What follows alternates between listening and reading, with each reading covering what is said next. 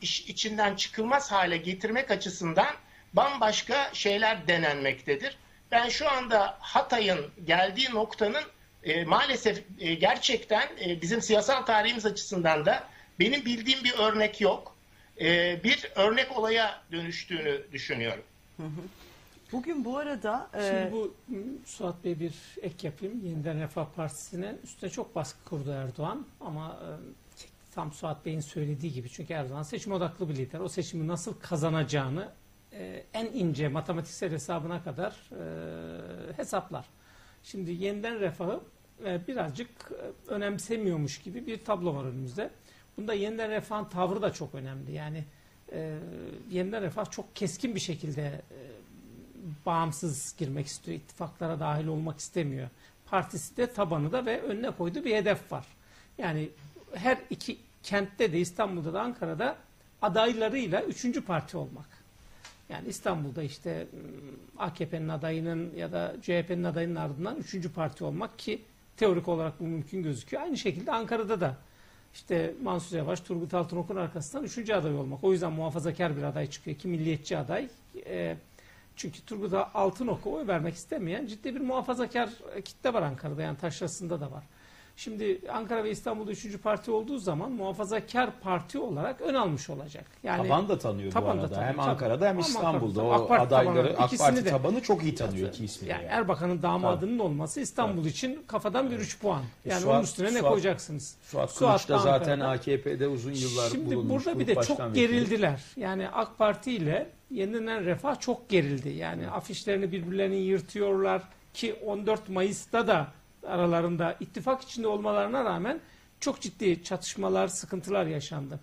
E, bu gerginlik bir e, ittifaka çok evrilir gözükmüyor. Çünkü e, İstanbul adayı da Ankara adayı da çok iddialı siyasi profiller. Yani sizi aday yaptık, vay ittifak yaptık, sizi geri çekiyoruz dediğiniz zaman yani buna çok kabullenebilecek ya da bunu o iki aday üzerinden uygulayabilecek şey durum yok. O nedenle yeniden refahta ben bir pozisyon değişikliğini çok beklemiyorum ama sonuçta muhafazakar sağ siyaset e, dün dündür bugün bugündürün hakkını Evet. veren bir dönemde e, yaşıyoruz. Yani Demirel bunu söylemişti ama hakkını bugün veriyorlar. E, yeniden refahta çok onu görmüyorum.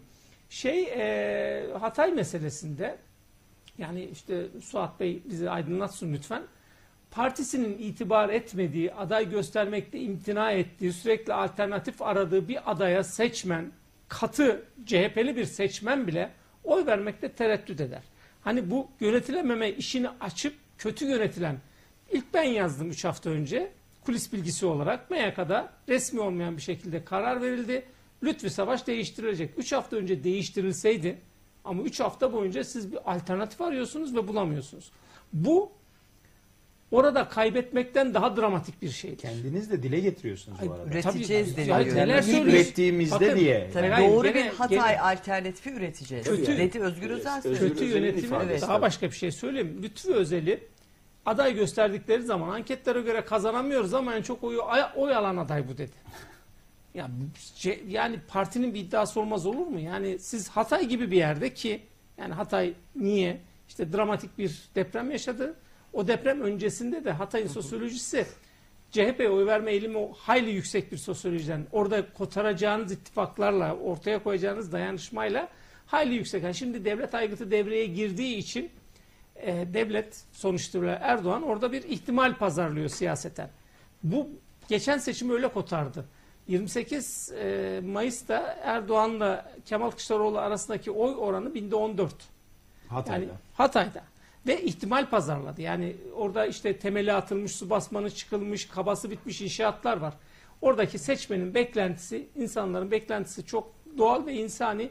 Ev ala- alabilirim, ev sahibi olabilirim, yolum yapılabilir, hastanem yapılabilir, okulum yapılabilir ve bunu kim yapar? Devlet yapar. Yani Devlet gidip, kim? gidip bunu Erdoğan'ın orada söylemesi boş bir şey değildi zaten. Yani devlet olmazsa bunların hiçbiri gelmez hikayesi. O planlı bir siyaset. Tabii tabii strateji zaten. çok net. Şimdi siz 3 hafta önce buna karar verdiniz. 3 haftadır bunu oyaladınız, anketler yaptırdınız, anketler. Yani bir ilin, e, büyük şehrin belediye başkan adayını değiştirebilecek bir iradesi CHP'de yok mu? Yani soru bu. O bu o nedenle hani yönetilememe değil, bir de kötü yönetilme. Yani şu, şu saatten sonra Hatay'a kimi koyarsanız koyun CHP markasıyla kaybetme ihtimali çok çok Sedat çok abi, çok bu- zayıftır. Burada bir nokta daha var. Yani biz Hatay özelinden konuşuyoruz. Hatay'ı kazanıp kazanmamanın ötesinde e, hem e, Suat Hoca'nın hem senin altını çizdiğin bir nokta var.